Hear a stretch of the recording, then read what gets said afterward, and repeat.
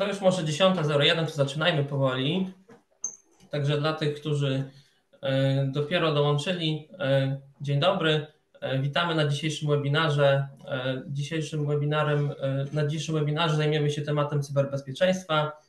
Ja jestem Piotr Chimowicz, Welcome Software, jestem lead Java developerem i moja główna odpowiedzialność to właśnie architektura bezpieczeństwa, architektura, bezpieczeństwo oraz rozwój systemów w technologii Java. Jest ze mną również Łukasz Bądziński. Dzień dobry, jestem Łukasz Bądziński. W Weltcomie zajmuję się głównie ofensywnym bezpieczeństwem. Jestem odpowiedzialny m.in. za testy penetracyjne, czyli symulowane ataki hakerów. Oprócz tego zajmuję się również programowaniem. Zapraszamy do zadawania pytań w trakcie webinaru. Na pytania odpowiemy na jego końcu. Dzisiaj zaprezentujemy właśnie na konkretnych przykładach wykorzystanie podatności, czyli lub w zabezpieczeniach aplikacji.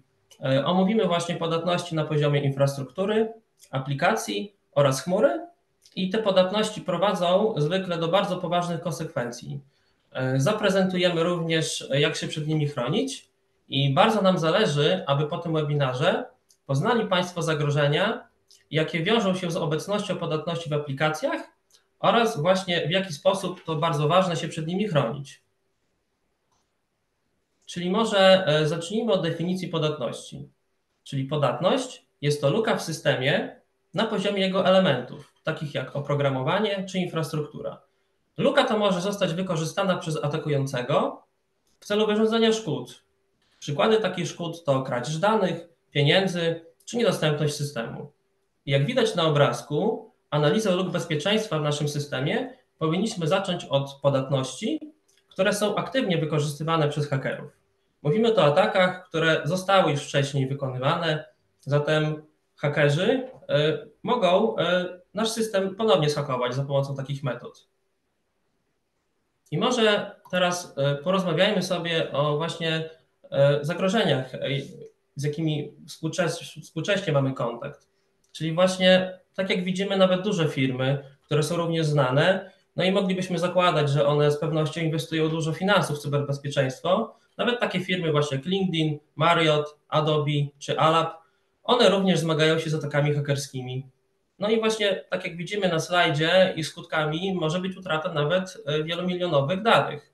A tutaj widzimy jedynie przykłady, ale na przykład Marriott 500 e, milionów e, danych osobowych wyciekło, także widzimy, że temat, e, temat jest dość poważny. I może porozmawiajmy sobie również o konsekwencjach, jakie niesie ze sobą taki atak hakerski. Więc taka podstawowa konsekwencja, no to wyciek oczywiście poufnych danych, tak? Jakie to mogą być dane? Dane klientów, pracowników, tajemnice handlowe oraz hasła. No i prowadzi to e, do problemów, oczywiście związanych z prywatnością i ułatwia ataki na inne systemy. E, dlaczego to ułatwia ataki na inne systemy? Ponieważ wiele osób współdzieli hasła, współdzieli loginy między systemami. Dlatego, e, jeżeli już schakujemy daną osobę w jednym systemie, no to w drugim będziemy już mieli o nim więcej informacji. Kolejna taka konsekwencja to właśnie przerwy w działaniu systemów. No oczywiście taki atak może spowodować czasowe wyłączenie całości bądź części systemu lub na przykład jego e, głównej, najważniejszej biznesowo części. No i oczywiście jest to e, wstrzymanie działalności biznesowej, no co oczywiście nie jest nigdy dobrym scenariuszem, ponieważ wtedy system nie realizuje swoich zadań. Jakie tutaj jeszcze mamy konsekwencje? Jeszcze na przykład szkody finansowe, tak? Czyli no, ponosimy szkody związane z przywróceniem takiego systemu do działania. Następnie często musimy zrobić audyt bezpieczeństwa, by upewnić się, że już ta luka została naprawiona. No i potem musimy zaimplementować właśnie nowe środki bezpieczeństwa, które uniemożliwią ponowny atak. I to oczywiście e, wiąże się z wydatkami. No, też często po takim ataku hakerskim e, dana organizacja e, no, traci na reputacji, tak? ponieważ dane klientów zostały narażone na atak, tak, e, wyciekły, organi- wiemy, tak, cały świat wie o nas, że taka organizacja jest podatna na ataki, no i to właśnie może e, prowadzić do utraty nawet zaufania klientów czy kontrahentów, także to też jest ogromna szkoda. No i też taką kolejną konsekwencją jest odpowiedzialność prawna, czyli właśnie organizacja ponosi często odpowiedzialność prawną za utratę danych osobowych klientów lub niezapewnienie odpowiedniego poziomu bezpieczeństwa. I teraz e, pokażemy na konkretnym przypadku, e, w jaki sposób można wykorzystać lukę bezpieczeństwa e, na poziomie infrastruktury.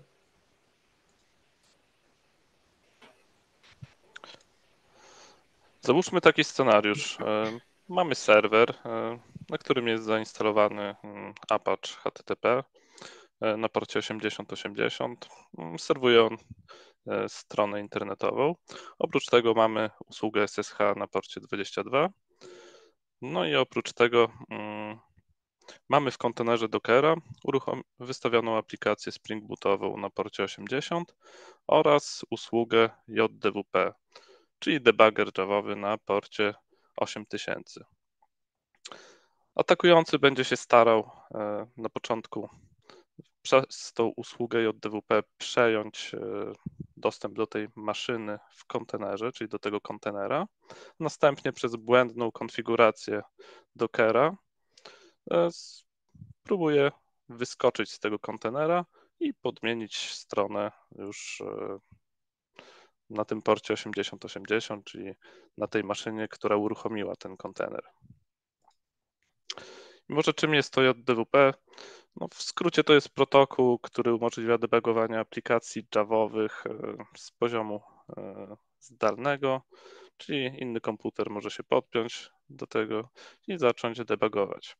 Co jest ciekawe, protokół ten nie zapewnia żadnego uwierzytelniania, a umożliwia wykonywanie kodu. Więc taki atakujący, gdy widzi taką wystawioną usługę, może e, wykonać zdalnie kod na takiej maszynie, która wystawiła tę usługę. Teraz zobaczmy, jak w praktyce taki atak mógłby wyglądać. Czyli na początku, jako atakujący, mamy tylko adres do strony. Nie wiemy, co tam się znajduje. Widzimy jakiś formularz logowania. Atakujący próbuje, powiedzmy, jakichś prostych haseł, e, ale stwierdza, robi jakiś inny rekonesans tej całej aplikacji internetowej, ale stwierdza, że no nie ma tu nic ciekawego. A więc e, idzie inną drogą i weryfikuje, chce zweryfikować, co realnie ta maszyna, jakie usługi sieciowe wystawia. W tym celu korzysta ze skanera portów. Takim skanerem portów jest Nmap, bardzo popularnym. Tutaj podaję adres domeny tej maszyny. W parametrze SV poda, parametr SV zapewnia e, że ten Nmap będzie się starał odkryć, co za konkretna usługa jest uruchomiona na danym porcie. I właśnie uruchamia taki skan portów. Tutaj e, widzimy, e, tak, te porty zostały odkryte, 22, 80, 80, 80. Natomiast w następnej fazie już Nmap mm, próbuje zweryfikować, co to za usługi. I jak się okazało, pod portem 22 mamy serwer OpenSSH. E, pod portem 80 mamy tu stronę internetową z formularzem logowania, co widzieliśmy na demo. 8000 to ten właśnie debugger javowy i 8080 jakaś inna strona www. E, tu atakujący w tym momencie nie wie, że e, te usługi 8000 JDWP i e, ta usługa na porcie 80 jest wystawiona przez e, kontener Dockera. Aktualnie nie ma takiej informacji, tak? Teraz zobaczmy właśnie ten port 80, to właśnie ten nasz formularz logowania i port 8080, którego wcześniej nie widzieliśmy, tak? Jest jakaś strona hello from host machine. Atakujący będzie się starał właśnie podmienić zawartość tej strony, czyli uzyskać dostęp do maszyny hosta. Ale na początku e, zobaczmy, jak wygląda takie przejęcie maszyny przez wystawioną usługę JDWP. E, czyli na początku przejmiemy, e, wykonamy zdalnie kod w kontenerze Dockera.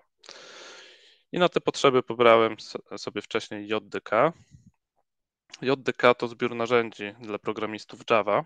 Mm, zawiera takie narzędzia jak JDB, czyli klient debugera. Tutaj pokażę, jak się połączę z taką maszyną, która wystawiła ten debugger. Tak, używam e, e, w parametrze attach podaję adres atakowanej maszyny i port, na której wystawiony jest w niej ten właśnie debugger javowy. Tutaj, jak widać, udało się połączyć. Mogę wypisać jako atakujący, tak, jakie tu komendy mam dostępne. Taką, takimi ciekawymi komendami z naszej perspektywy atakującego są print, dump, eval, expression. Czyli te właśnie komendy umożliwią nam e, wykonanie zdalnego kodu, czyli uruchomienie na tej zaatakowanej maszyny dowolnego polecenia przez nas. Tak, tutaj mamy jakieś komendy typu threads, która wypisuje e, aktualnie odpalone wątki w aplikacji. Tak, tutaj widzimy Spring Framework, czyli to, co widzieliśmy na tej, tym diagramie wcześniej, architektury, class path, tak, czyli w tym przypadku, gdzie aplikacja jest uruchomiona. I teraz y, mógłbym to przez właśnie te narzędzie JDB zrobić, natomiast wcześniej e, przygoto mam przygotowany skrypt, który zautomatyzuje mi ten atak.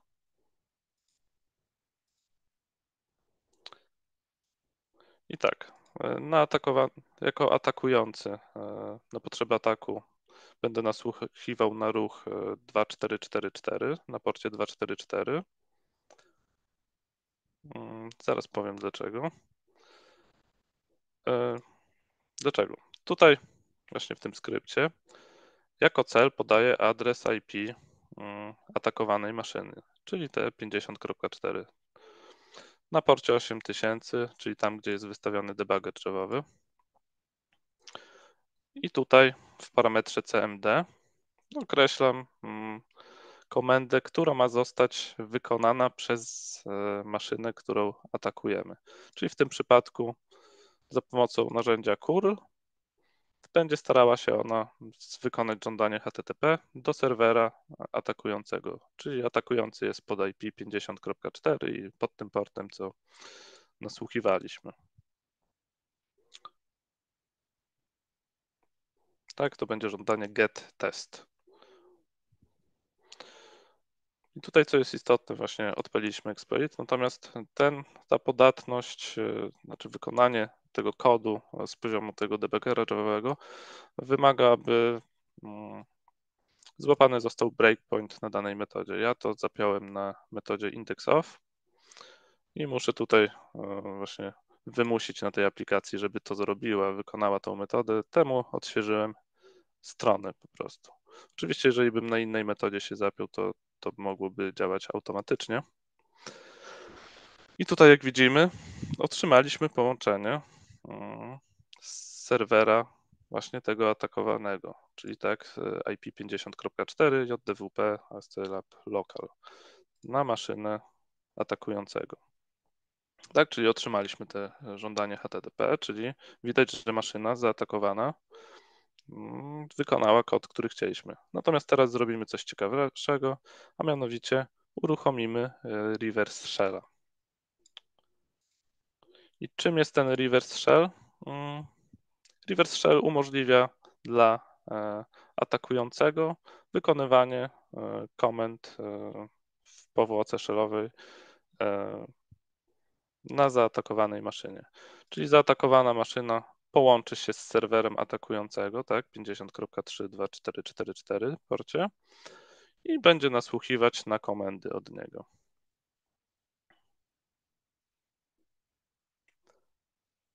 I tutaj jeszcze raz muszę właśnie odświeżyć tę aplikację ze względu, że się zapiąłem na tą metodę. I zobaczcie Państwo, otrzymałem połączenie Mm, z tej zaatakowanej maszyny. I już mam dostęp tutaj do powłoki shellowej, tak? root at e1fa. Wypisałem sobie procesy i zobaczcie, tych procesów jest bardzo mało, tak? Już mogę wykonywać komendy w obrębie tego kontenera, bo tych procesów jest bardzo mało, co świadczy, że jesteśmy najprawdopodobniej w kontenerze Dockera. Natomiast już mam dostęp, tak, do tego, więc tutaj mogę wykonywać komendy w obrębie kontenera Dockera i teraz celem atakującego będzie wyskoczenie, próba ucieczki z tego Dockera na maszynę, która uruchomiła ten kontener. Może powiedzmy, co ten Docker umożliwia. Umożliwia uruchamianie aplikacji w sposób częściowo wyizolowany od hosta. Dlaczego częściowo? Ponieważ te kontenery, jak tutaj widzicie e, na diagramie, współdzielą kernel hosta. Czyli to podejście sprawia, że mm, w porównaniu do takiej tradycyjnej maszyny wirtualnej e, mam mniejszą izolację. E, tradycyjna maszyna wirtualna jeszcze tutaj symuluje system operacyjny, i co się z tym wiąże? Mm, wiąże się z tym, że te kontenery dockerowe mm, wymagają bardzo małych zasobów do uruchomienia, ze względu na to, że współdzielą właśnie ten kernel hosta. E, natomiast wadą tego jest, że ta izolacja jest mniejsza. Tak? I teraz zobaczymy, jak przez błąd konfiguracji mm, właśnie przez uruchomienie kontenera z flagą privileged możemy z takiego kontenera wyskoczyć. E, co robi ta flaga privileged? E, generalnie luzuje polityki bezpieczeństwa, mm, daje dla takiego kontenera e, tak zwane uprawnienia kernela, między innymi to, co wykorzystamy w demo, uprawnienie capsys admin, które umożliwi kontenerowi dostęp do urządzeń e, maszyny, która uruchomiła ten kontener, czyli między innymi dysku i umożliwi, umożliwi zamontowanie tego e, systemu plików. A więc kontener będzie miał dostęp do plików tej maszyny, która go uruchomiła. I teraz zobaczmy w praktyce, jak to wygląda. Tak, czyli atakujący upewnia się, że faktycznie jest e, w kontenerze Dockera, tak? E, tutaj oczywiście ma dostęp do aplikacji Javowej, będąc w kontenerze, czyli tutaj mógłby zacząć analizować tą aplikację, tak? Czy nie ma tam zaszytych jakichś e, haseł, kluczy API. Mm, mógłby wykonywać jakieś ataki w, e, w obrębie tej sieci, do której ten kontener ma dostęp. Natomiast teraz atakujący sprawdzi, czy faktycznie E, jest uruchomiony jako kontener uprzywilejowany, tak? Czyli robi taki rekonesans tego kontenera, jakie ma uprawnienia i listuje katalog kreska dev. E, to jest w Linuxie katalog, który tak e, symuluje jakby urządzenia, do jakich, jakie są dostępne. I zobaczcie Państwo, tych urządzeń zostało wypisanych bardzo dużo co sugeruje, że jesteśmy w kontenerze uprzywilejowanym. Gdyby to nie był kontener uprzywilejowany, tych e, urządzeń by było tak na poziomie 10-15, zdecydowanie mniej. No i teraz wykonuję komendę rsblk. Czym jest ta komenda rsblk? Mm, generalnie listuje ona urządzenia blokowe, czyli, czyli można powiedzieć dyski twarde, partycje. I tutaj właśnie za, tej, za pomocą tej komendy wylistował dyski twarde i ma taką partycję interesującą, która waży 40 giga, tak? I spróbuję teraz tą partycję zamontować, czyli uzyskać dostęp do plików hosta, czyli tej maszyny, która uruchomiła kontener Dockera. W, w tym celu wykonuję właśnie te dwie komendy. Mm, montuję, e, cofnę trochę. Właśnie montuję te urządzenie dev SDA1, czyli tą partycję dysku i podpinę ją właśnie pod ten katalog e, tymczasowy TMP My Host File System. Jeżeli wszystko dobrze się udało, to przechodząc do tego katalogu i listując go, tak, udało się uzyskać dostęp do plików maszyny, która uruchomiła ten kontener, czyli tego hosta. Zobaczcie, nie ma tutaj pliku .dockerenv, Czyli tutaj widać już dostaliśmy się do czegoś poza kontenerem, tak? Tutaj jeszcze wylistuję e, wylistuję mm, system plików e, tego kontenera, żeby pokazać Wam, jak to wygląda. Widzicie, tutaj w systemie plików kontenera mamy ten plik docker env, tak? czyli tutaj mamy wylistowane te pliki, e, do których ma dostęp kontener, a z poziomu tego myhost file system mamy już dostęp do e, no właśnie do tych innych plików, czyli do tych plików maszyny hosta. I co teraz spróbujemy zrobić? Spróbujemy wykorzystać e, usługę cron, aby wykonała uruchomiła takiego reverse shella do e, maszyny atakującego. E, czym jest usługa cron? E, usługa cron wykonuje cyklicznie zdefiniowane przez nas zadania. Jest to taka usługa w Linuxie. I w pliku crontab między innymi znajduje się definicja tych zadań do wykonania przez tą usługę. A więc my Tutaj już pominę e, może to, od razu przejdziemy do tego właśnie reverse shella. I my właśnie spróbujemy to, co widzieliśmy w poprzednim kroku przy ataku na, maszy- e, JDW, na usługę JDWP, uruchomienie reverse shella. Teraz właśnie za pomocą e, dopisania takiego zadania do tej usługi cron mm, uruchomimy reverse shella i powinniśmy w ten sposób uzyskać możliwość wykonywania komend na maszynie już hosta, czyli tej maszynie, która uruchomiła ten kontener Dockera. I tutaj e, tak nasłuchuję na tym porcie 2446. Tu dopisuję to zadanie za pomocą metody echo, e, które uruchom powinno uruchomić tego reverse shella. I teraz zobaczmy. Jak widzimy, uzyskaliśmy połączenie z tej maszyny hosta. Czyli zobaczcie, tutaj już jesteśmy jako e, root e, Ubuntu Focal, tak? Hostname. Czyli to jest już inna powłoka. No i zobaczmy. Spróbuję sobie wypisać jako atakujący za pomocą komendy e, docker ps id kontenery, jakie mam uruchomione. Zobaczcie, tutaj mamy ten identyfikator kontenera, czyli to, co uruchomiliśmy, tak? Ten panel logowania na porcie 80, tu widać usługę JDWP na 8000. Zobaczcie, te ID kontenera pokrywa się z tym reverse shellem, który uzyskaliśmy wcześniej e, w wyniku ataku na tą usługę JDWP. Czyli udało nam się wyskoczyć z kontenera do maszyny, która uruchomiła ten kontener, tak? Do hosta. I teraz zobaczcie, wypisałem sobie e, za pomocą komendy psaux e, listę procesów, tak, tutaj widzimy właśnie ten kron usługę, która działa sobie w Loci i te zadania zbiera. Mm.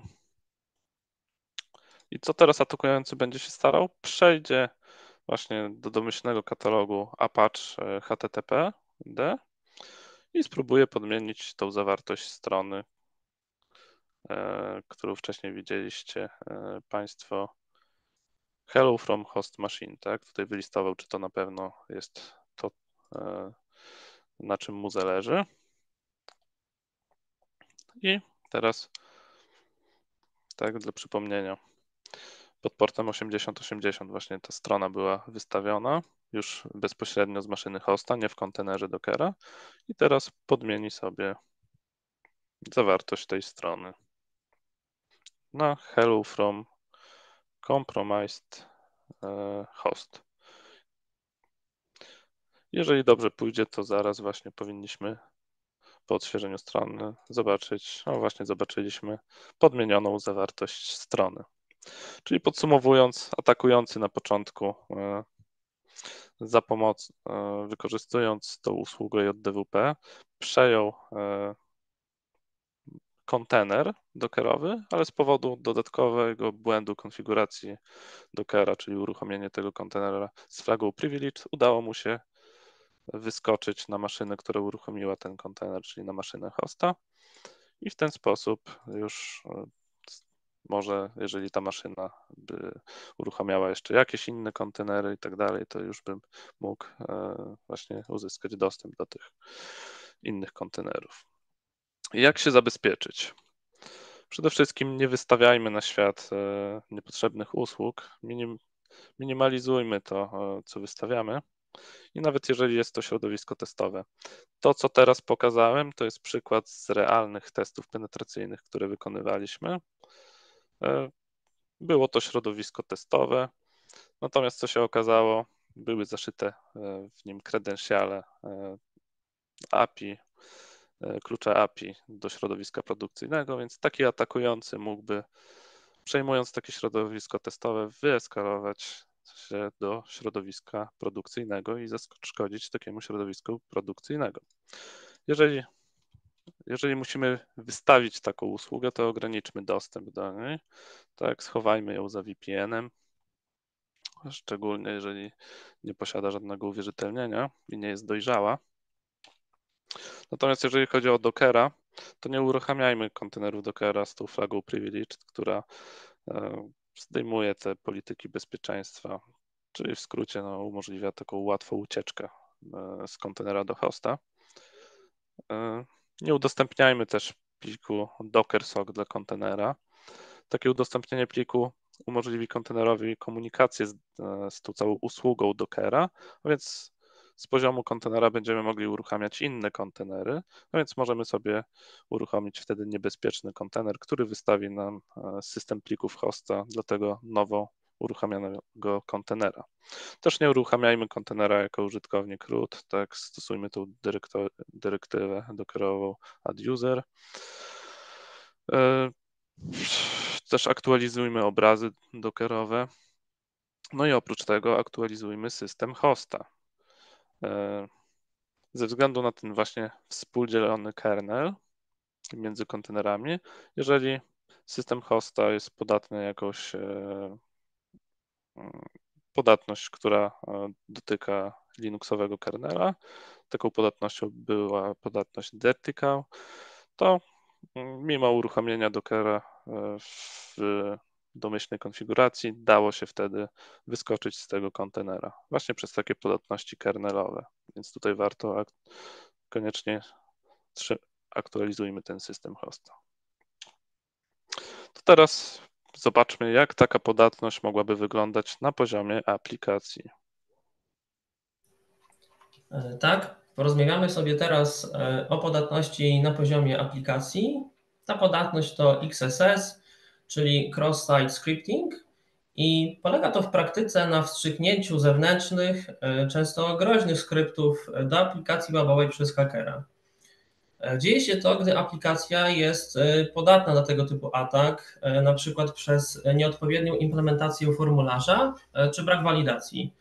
No i oczywiście skutkiem takiego ataku może być wykonanie takich skryptów, które sobie haker przygotował wcześniej i wstrzyknął do aplikacji, co w konsekwencji może spowodować e, oczywiście wyciek danych lub uzyskanie niedozwolonych uprawnień. Teraz zobaczmy sobie, jak taki atak XSS e, może wyglądać e, w praktyce. Czyli na początku haker odkrywa lukę w zabezpieczeniach aplikacji, która umożliwia mu wstrzyknięcie skryptu. Następnie haker wstrzykuje taki właśnie złośliwy skrypt, który sobie przygotował w dane miejsce, w którym jest ta podatność.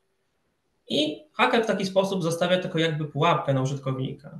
Następnie loguje się użytkownik, często o wyższych uprawnieniach, na przykład admin, i aktywność admina właśnie, czy kliknięcie w tym, w tym miejscu, gdzie jest to luka bezpieczeństwa, to właśnie powoduje uruchomienie tego skryptu. Co ważne, on jest uruchamiany w kontekście tego użytkownika, który, który ma wyższe uprawnienia, tak? No i wtedy niestety haker dokonuje włamania, pozyskując poufne dane. I teraz przeanalizujmy sobie aplikację, w której znajduje się taka podatność. Zatem jest to aplikacja bardzo prosta do, do zarządzania klientami.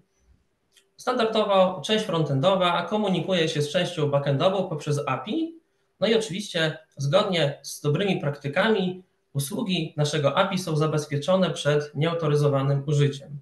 W aplikacji mamy dwa rodzaje użytkowników. Mamy klienta, użytkownik ma mniej uprawnień, i w tym przypadku jest to edycja profilu. Mamy również admina. Admin oczywiście może więcej w naszej aplikacji. W tym przypadku to odczyt poufnych danych, danych klientów oraz może usuwać klientów nasz admin. Zatem możemy powiedzieć, że admin ma dostęp do obszarów systemu, do których klient nie powinien mieć dostępu.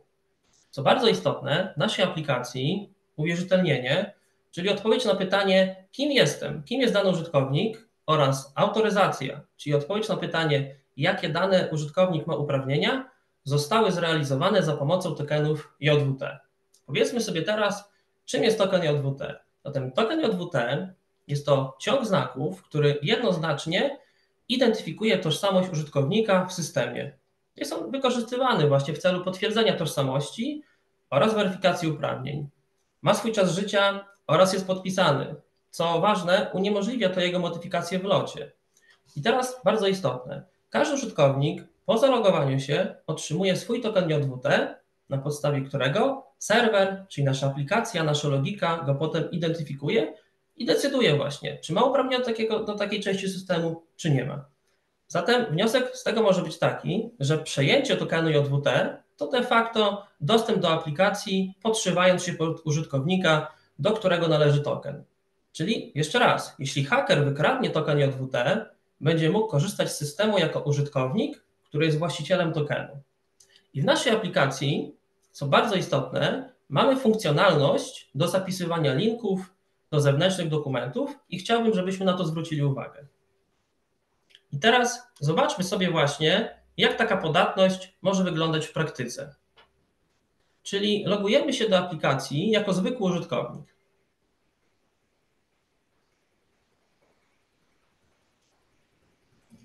No i aplikacja nam zwróciła token, czyli właśnie każdy użytkownik ma swój token, na podstawie którego jest identyfikowany. Widać w górnym rogu, że jesteśmy klientem. Cóż możemy zrobić? Możemy edytować swój profil, zatem robimy to i analizujemy ten formularz. Oczywiście widzimy, że aplikacja ma funkcjonalność e, przekazywania linków do zewnętrznych dokumentów. I teraz jako haker spróbujemy zamiast takiego dobrego linku, dobrych dokumentów, spróbujemy tam umieścić niebezpieczny kod, który zostanie wstrzyknięty do naszego systemu. Jako haker przygotowaliśmy sobie taki kod i spróbujemy go na razie skopiować w to pole. Zobaczymy, czy uda nam się go przesłać. No, widzimy tutaj, że aplikacja jest całkiem dobrze napisana, ponieważ mamy walidację, czyli możemy tylko skopiować poprawne linki. Ale jesteśmy doświadczonym hakerem, przepraszam, jesteśmy doświadczonym hakerem i spróbujemy właśnie za chwilę przechwycić żądanie między przeglądarką a serwerem i ręcznie w locie zmodyfikować to pole. Może to nam się uda. Używamy narzędzia BART, który jest standardowym narzędziem do tego typu akcji. No i właśnie widzimy, że przechwyciliśmy ten request o żądanie między przeglądarką a serwerem. Tutaj widzimy to pole, które nazywa się document URL to pole właśnie zostało przekazane z przeglądarki do serwera. Tutaj nie mogliśmy naszego skryptu na frontendzie wstrzyknąć, ale penetrujemy nasz system. Sprawdźmy, czy uda się to bezpośrednio wkleić i dalej przesłać do serwera. Kleiliśmy nasz złośliwy skrypt. Tutaj widzimy jest kod w JavaScriptie.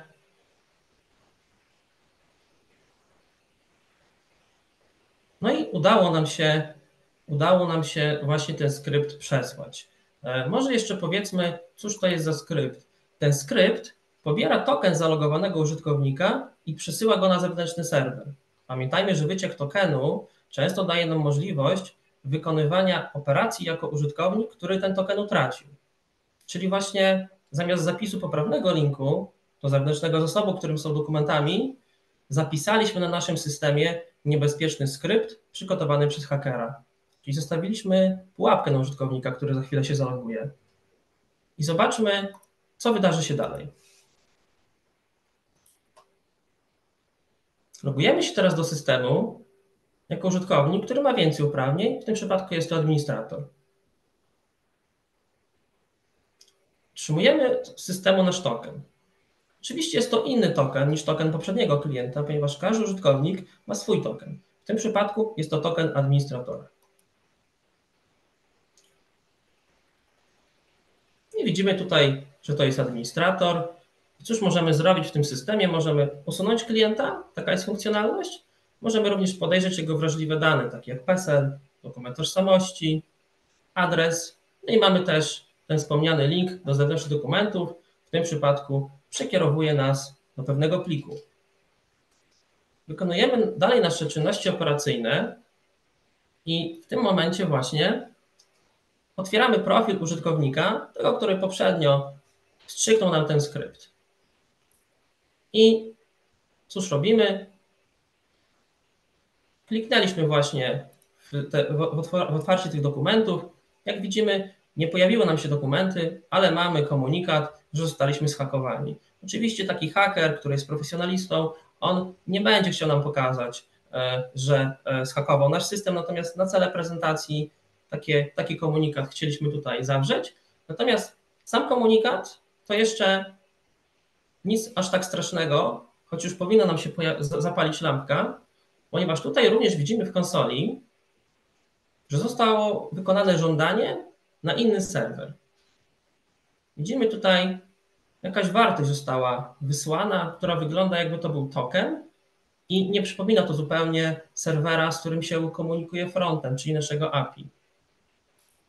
Można tutaj założyć, że tutaj tak naprawdę ten token został przechwycony. I teraz jeszcze wróćmy do naszego formularza. Widzimy, że tutaj właśnie ten atak się odbył. I teraz powiedzmy, dlaczego nasza aplikacja była podatna na atak? Przecież nie powinno tak się wydarzyć. Więc ten ekran, który widzimy ze szczegółami klienta, a więc i linkiem do zewnętrznych dokumentów, on został zaimplementowany niezgodnie ze standardami bezpieczeństwa. Czyli niestety nie wykorzystano tu mechanizmów, które chronią przed podatnością, przez co haker mógł wstrzyknąć groźny skrypt i wykraść token. Czyli tak naprawdę otworzyliśmy furtkę, wstawiliśmy furtkę takiemu hakerowi, żeby nasz system spenetrował. No i po kliknięciu w przycisk, zamiast przejść do zewnętrznego zasobu, właśnie został uruchomiony ten skrypt wstrzyknięty przez hakera w filmie numer jeden. No i cóż tutaj jeszcze złego się wydarzyło? Ten formularz zaprogramowano no niezgodnie ze no, standardami bezpieczeństwa. Tutaj akurat w tym przypadku odwołano się ręcznie do elementów dokumentu HTML, czyli do, do, czyli do DOM API, a powinniśmy właśnie skorzystać z naszego frameworka, który by nam pomógł zabezpieczyć. I teraz zobaczmy sobie, ponieważ tu już widzimy, że ten skrypt został wywołany, zobaczmy sobie, co dalej się wydarzy. Więc tutaj jako haker wstrzyknęliśmy ten skrypt i w tym skrypcie napisaliśmy kod, który przesyła token do zewnętrznego serwera i mamy tutaj wizualizację tego zewnętrznego serwera, mamy tutaj requesty HTTP i widać również żądanie nasze, które przed chwilą zostało wykonane i jest tutaj ten token, czyli tak jak sobie na początku mówiliśmy, token identyfikuje użytkownika, zatem jego wyciek jest bardzo niebezpieczny. Niestety on wyciekł. Teraz zastanówmy się, co taki sprytny haker może zrobić z tym tokenem. Widzimy tutaj ekran logowania. No oczywiście haker nie zna loginu i hasła e, admina, ale może spróbuje w jakiś sposób to obejść, mając ten token. Haker spróbuje ręcznie wstawić token, umieścić go w przeglądarce.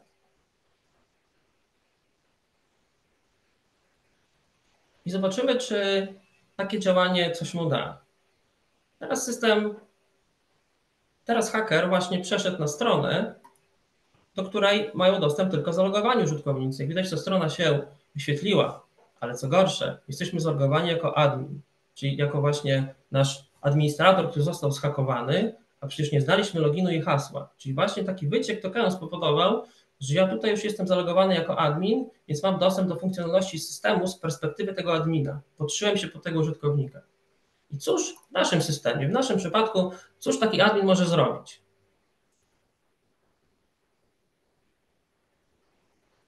On może oczywiście i ma dostęp do danych wrażliwych, tak, do PESEL-u, do innych wrażliwych danych, może podglądać omawiane dokumenty, może również zobaczyć numer dowodu tożsamości, ale może też usunąć użytkowników, co właśnie teraz zrobił. Ale najważniejsze jest to, że właśnie on wykonał nieautoryzowaną akcję. Oczywiście w Państwa systemach jestem pewien, że taka funkcjonalność takiej osoby, która ma więcej uprawnień, tam byłyby poważniejsze rzeczy.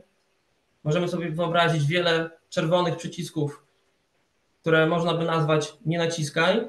No i niestety taki haker przeszedł nasze zabezpieczenia i właśnie mógł wykonać te niedozwolone akcje.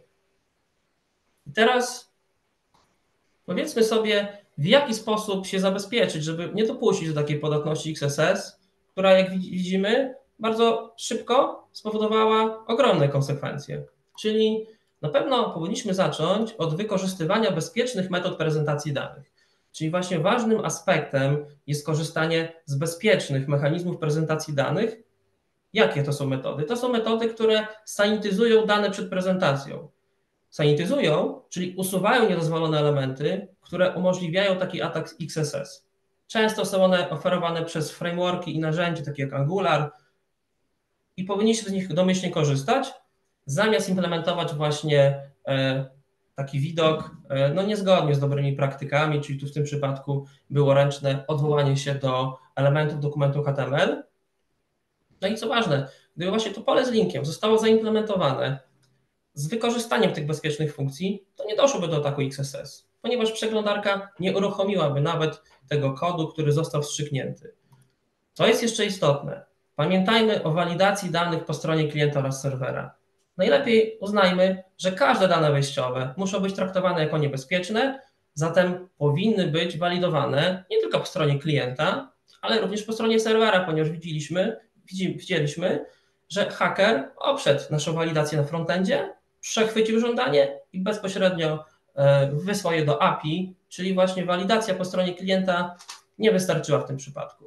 No i znowu, gdyby pole z linkiem było walidowane również po stronie serwera, to taki niedozwolony skrypt nie zostałby przesłany do usługi. Nie udałoby się tego zapisać. Kolejna ważna rzecz. Zapisujmy tokeny JWT w bezpiecznym miejscu i zastanawiajmy się nad tym, gdzie je zapisujemy. Tutaj najbezpieczniej przechowywać takie tokeny JWT w ciasteczku HTTP only, wtedy nie ma do niego dostępu z poziomu JavaScriptu w przeglądarce, więc nawet jeżeli taki skrypt by został wstrzyknięty, to nie byłoby do tego tokena e, dostępu, ponieważ ten token został zapisany w naszym przykładzie w local storage'u, a tam już jak widać był dostęp, można było sobie za pomocą JavaScriptu go pobrać, ale również umieścić ręcznie w przeglądarce. Kolejna bardzo ważna rzecz to korzystajmy z aktualnych bibliotek oraz frameworków. Czyli właśnie aktualizujmy nasze biblioteki, frameworki. Każda kolejna wersja naszej biblioteki no, jest pozbawiona poprzednich podatności i to, to nas z automatu tak naprawdę chroni. No i też korzystajmy świadomie z tych frameworków, z tych narzędzi, stosujmy code review w naszych projektach i zastanawiajmy się właśnie nad nawet takimi prostymi elementami kodu, można by powiedzieć jak prezentacja linków w formularzu i jeżeli wykorzystujemy niebezpieczne elementy, bądź takie, które mogą wprowadzić takie zagrożenie, na przykład mamy w Angularze taką metodę e, bypass security trust us, to korzystajmy z niej świadomie. No i jeszcze taka jedna rzecz, to nagłówki HTTP. Tutaj dwa ważne są nagłówki. Pierwszy to jest Content Security Policy, a drugi to jest X-Content Type Options.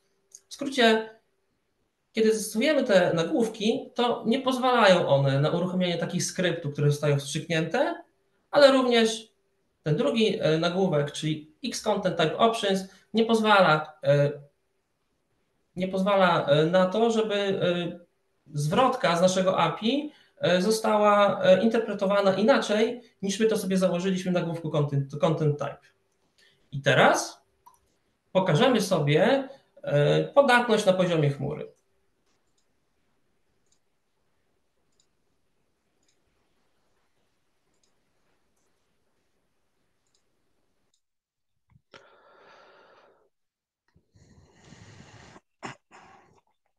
Dobrze. Mm, załóżmy taki scenariusz, że mamy e, podatność e, na poziomie chmury. Czyli jako czyli mamy aplikację e, Cognito, gdzie jest panel jest aplikacja, która jest taką typową konsolą administracyjną. Korzysta ona z usługi AWS Cognito, która jest taką bazą użytkowników. I ta baza, akurat w tym przypadku, jest przeznaczona tylko dla użytkowników typu admin. A więc mm, Więc atakujący spróbuje zarejestrować się bezpośrednio przez tą bazę, pomijając e, formularze e, tej konsoli. A więc tak, mamy aplikację, ten nasz panel administracyjny, która z pozoru ma tylko logowanie, tak? Atakujący wchodzi w e, konsolę i co widzi, że ta cała, całe uwierzytelnianie odbywa się przez usługę AWS Cognito. Tak, tutaj widzimy coś takiego jak initiate auth, metodę wykonywaną na tym API Cognito. I tutaj mamy client ID, który identyfikuje właśnie, która to akurat e, baza danych. No i tutaj przygotowałem sobie wcześniej request, który wykorzystuje metodę signup Cognito. E, ogólnie Cognito ma różne metody API. Część z nich jest zupełnie dostępna bez uwierzytelnienia i właśnie domyślnie taką metodą jest signup. I teraz przepiszę sobie e, właśnie ten client ID do tego żądania. Tak, mam uzupełniony właśnie ten sam client ID i spróbuję zarejestrować to konto poprzez bezpośrednią komunikację z API Cognito. I co się okazuje, ten komunikat potwierdza nam, że się udało takie konto utworzyć. E, natomiast to konto nie jest jeszcze potwierdzone. Tak, kod dostaliśmy według tego komunikatu na maila kontrolowanego przez atakującego, a więc wykorzystam tutaj kolejną metodę API Cognito, taką jak confirm signup. I tutaj uzupełnię to kodem, e, co otrzymałem jako atakujący na maila. I zobaczcie Państwo, teraz spróbuję zalogować się za pomocą tych danych, co podałem w tych żądaniach przed chwilą.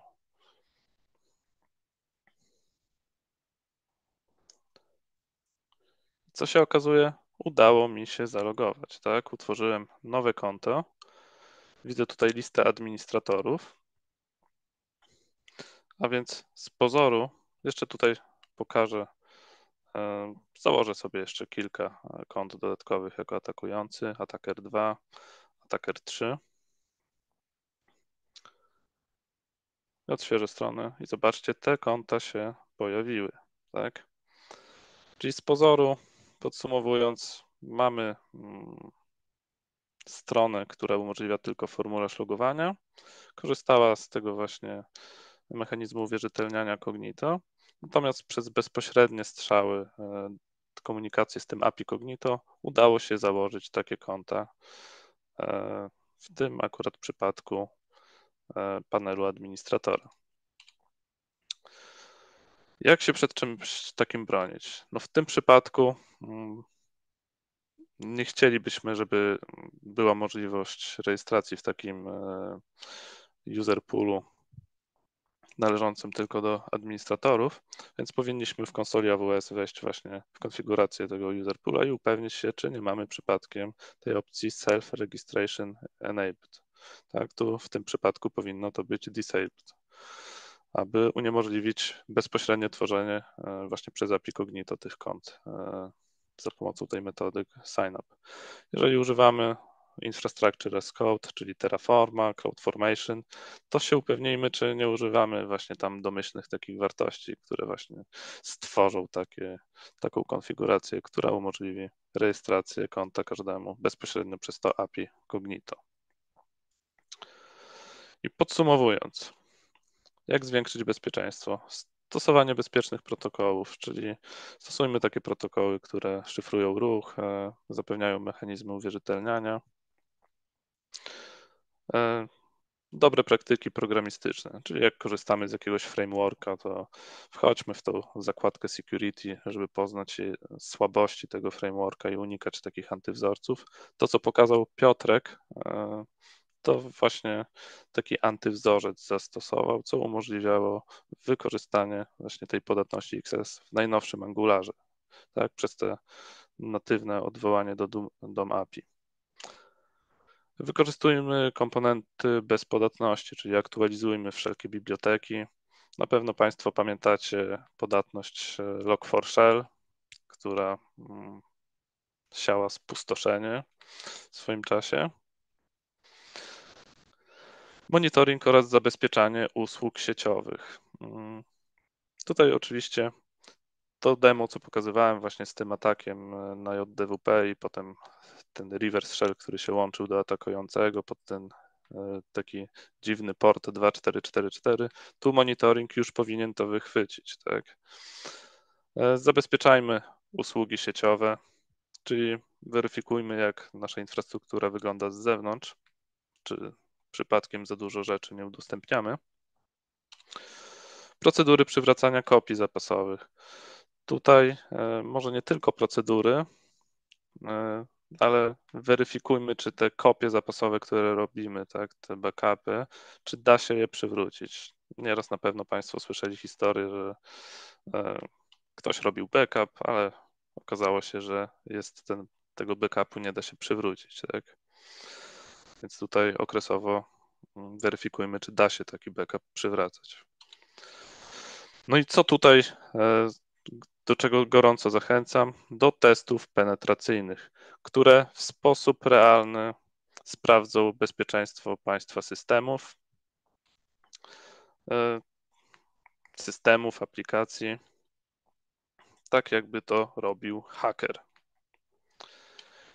Jeżeli chodzi o Altcom e, software, to realizujemy taką usługę testów penetracyjnych. Mm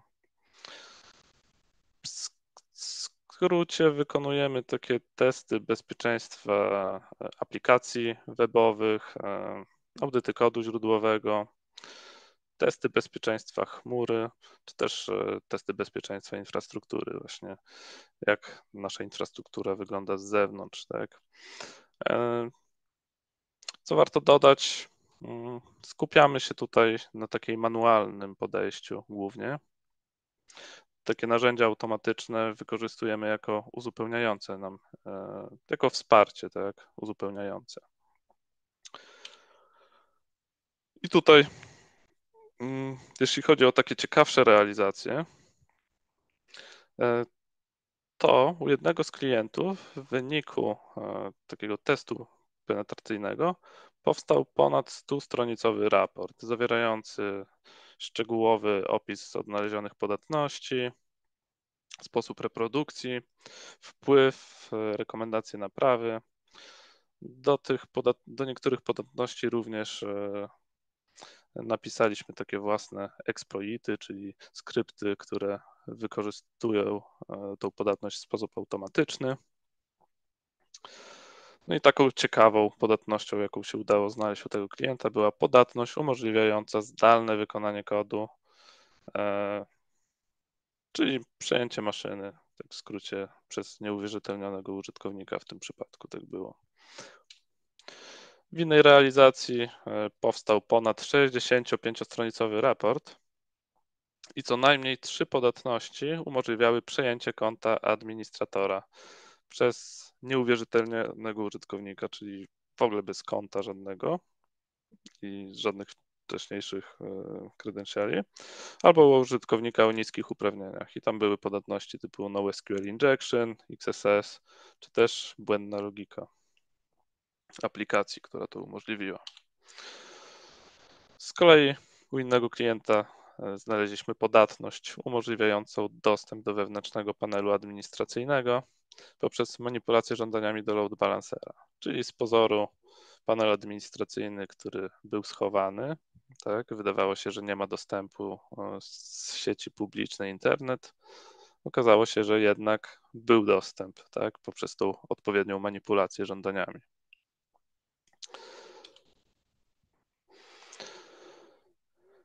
Jeżeli chodzi o mm, ten webinar, to materiały dostaniecie Państwo drogą mailową. I tutaj, jeżeli chodzi o kody źródłowe tych podatności, co przedstawiliśmy, e, będzie można, możecie sobie je pobrać i odtworzyć u siebie lokalnie na środowisku, czyli te podatności będziecie mogli przetestować w praktyce. I teraz może przejdźmy do pytań.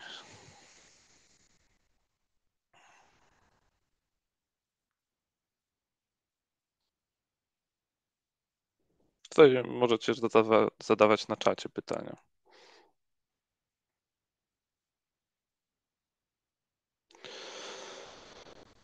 E, dobrze, widzę pytanie, czy w domyślnej konfiguracji Dockera coś nam grozi? Generalnie, jeżeli aktualizujemy ten system hosta, to raczej głównie ataki sieciowe, tak? Czyli z czym taki kontener e, konkretnie może rozmawiać w obrębie swojej lokalnej sieci. No, jak aktualizujemy tego hosta, to już e, takie podatności kernelowe nam nie grożą, tak? Także tutaj głównie właśnie te ataki sieciowe.